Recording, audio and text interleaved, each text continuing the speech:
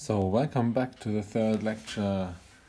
This is the second part. We're going to talk about expectation values and variances. So, what is an expectation value of a random variable? So, um, if you have a random variable, you know, and you, let's say we've got a die and we roll it many, many times, then, yeah, what's the expected kind of average mean result you get. So expectation value has to be uh, something that's like something like the mean value in data sets. And we're going to see the mean value of a sample kind of converges towards the expectation value if you ha have a really large sample. So that's kind of our best guess. Um, how do we calculate what is kind of the average result of my random variable? Yeah, x is always my random variable. Um, oh, by the way, this is often also called mu, yeah, Greek symbol. Um, whenever you see a mu, uh, that means the expectation value yeah, of your random variable. How do we calculate it? Well, we take the outcomes, yeah, AJ's 1, 2, 3, 4, 5, 6, 4 dice, for example. So, for example, the 6 for outcome 6 on the dice, and then you multiply it with the probability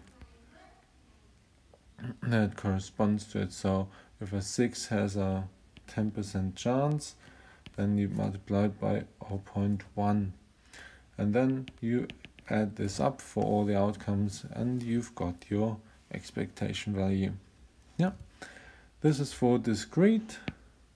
Um, for continuous, same formula, uh, except that, yeah, we've got an integral over the product of x times f on f of x. So same formula, just continuous way of summing up. Um, one interesting thing I'd like to add is what is the case if we don't have x but a function of x. We're going to use that a lot in the next little bit. So let's say we've got the dice, outcomes 1, 2, 3, 4, 5, 6, but we're not interested in the expectation value of that, but you know, something that we do to it, like let's say we square the number that comes out or we multiply it with a constant or we do something else to it. And the interesting thing is, I don't want to show you the proof, is that if we want to calculate the expectation value of y, kind of a function applied to our random variable, that only comes through here. So we only need to adjust the outcomes. It turns into g of aj. Yeah, we apply the function to the outcomes and, and just do the same thing as above. Yeah, multiply with the probability, sum over it, or take the integral. Continuous ones. So not a big change, and we're gonna be able to uh, calculate interesting things with this. All right, but this would be enough for start. Your turn. So let's have an example. So I've got a coin.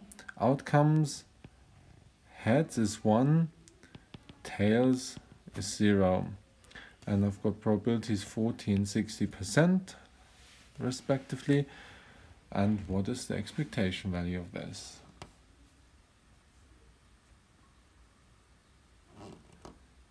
Perfect yeah 0.4 is my expectation value.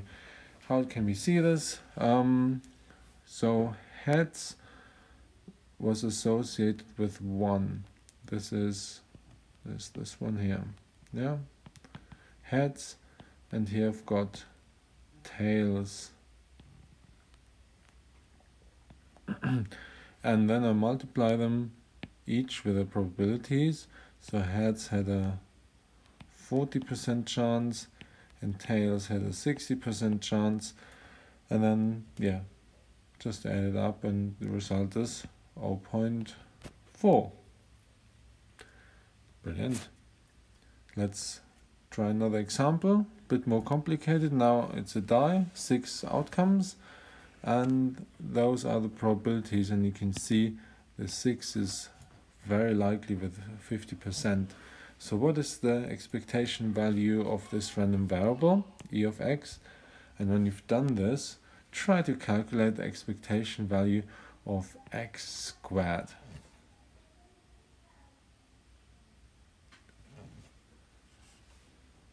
All finished? Perfect.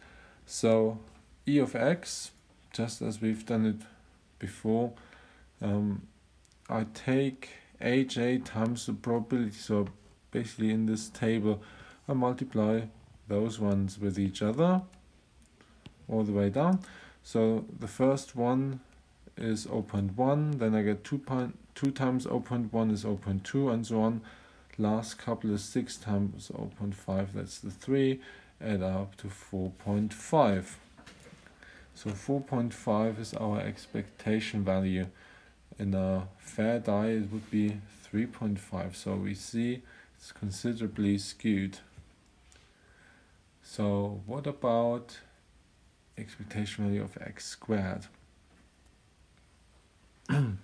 well, we know that this to the power of 2, the squaring, that just applies to the AJs. So we just need to square the outcomes. Um, I can write it at the top. So 1 squared is 1 and 4, 9, 16, 25, 36. This is aj squared. And now I can do the same thing. Like this times 0.1 is 0.1. 4 times 0.1 is 0.4 and so on. And the last couple is 0.5 times 36 is 18. Add them all up, you can use a calculator and it's 23.5 and we're gonna see in a minute that you know this is part of the calculation for the variance so we're gonna need this calculation again. Good. Last example so that was just applying a pretty much random function the squaring to it. Now let's put it all together. Let's create a little game. So you've got two dice and if you roll um, if both dice show the same number if you roll two fours for example then you get a euro for each black dot so in this case you would get 8 euros cash in your hand if it's not two of the same kind you have to pay 1 euro to the bank and now the question is it a fair game? Who's gonna win it on average? What do you expect to happen? So yeah, we need the expectation value. And I've shown you like four possible results. Please calculate what you think is the outcome.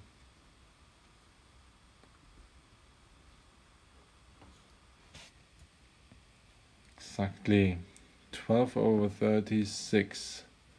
Um, how do we how do we get this result so I basically apply this money function to my outcomes so uh, we've got 36 outcomes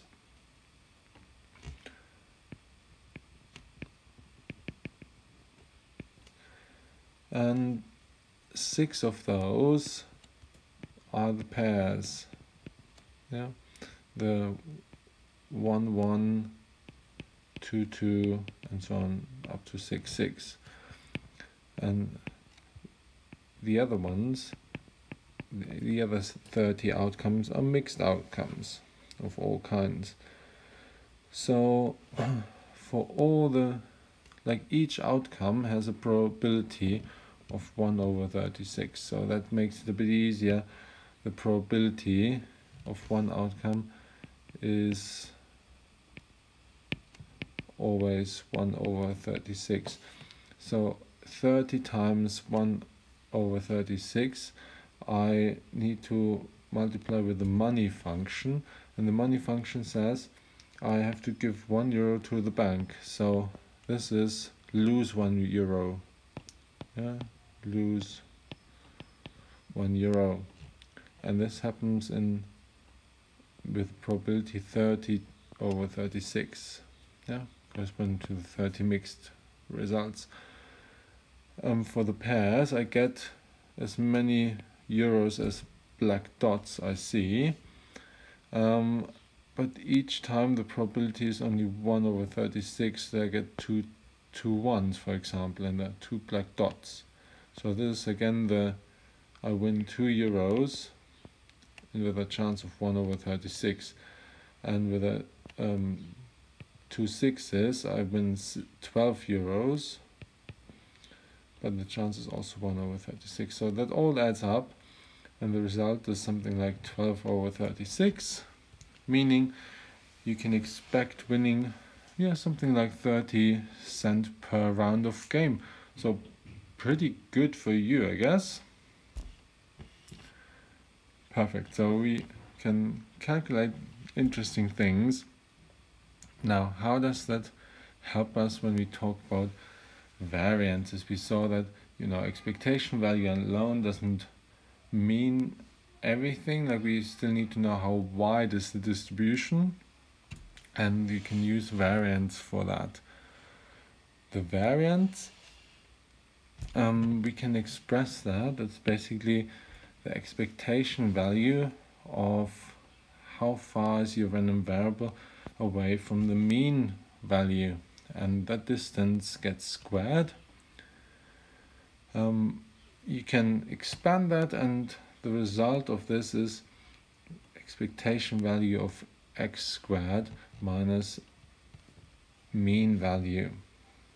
That is basically a nice neat formula that calculates us variance. So you see, we can use this e of x squared from earlier.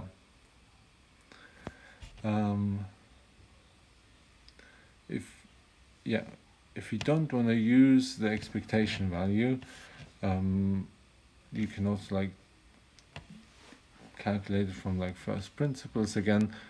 So you take the outcome aj minus the mean value and then yeah you square the difference and multiply it with the probability of that outcome and then sum it over all outcomes. So similar formula to the expectation value just you've got this difference here uh, squared um, in the continuous case kind of same formula just the integral instead of the sum and obviously standard deviation is just square root of the variance. Okay, let's see how that works out. So again, we've got our coins, outcomes 1 and 0, probability is 14, 60% from earlier. And what is the variance?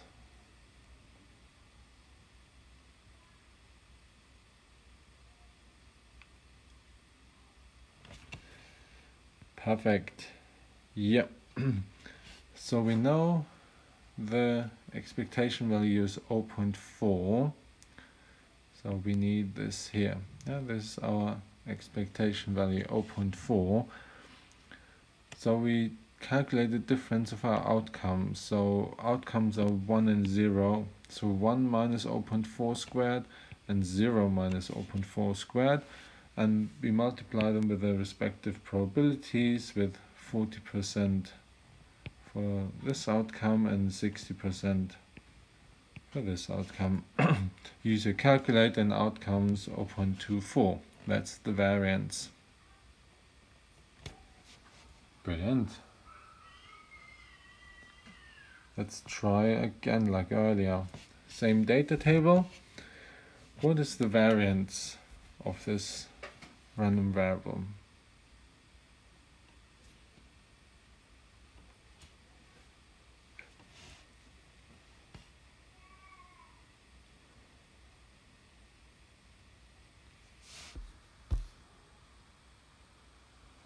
Perfect. Yep. We get 3.25. Um, what I've done, I've, I've just calculated it from like first principles, like put all the numbers into the formula. The mean value is 3.5. Um, that's one way of doing it. Um, what we also could have done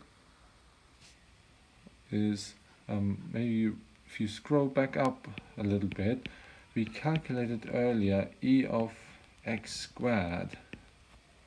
And if I just look that number up, we found out that's 23.5. So we've learned earlier that the variance is also e of x squared minus mu squared. So that's the 23.5 from here minus mu is this one minus 4.5 squared. And if you calculate that, you're also going to end up with 3.25. So that might be the faster way to calculate this.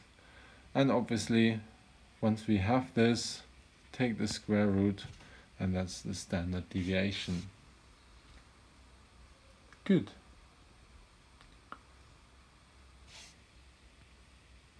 So now we know how to calculate expectation values and variance of random variables. Now we're gonna use that to go one step further in the next part of this lecture and standardize and transform random variables. See you in a sec.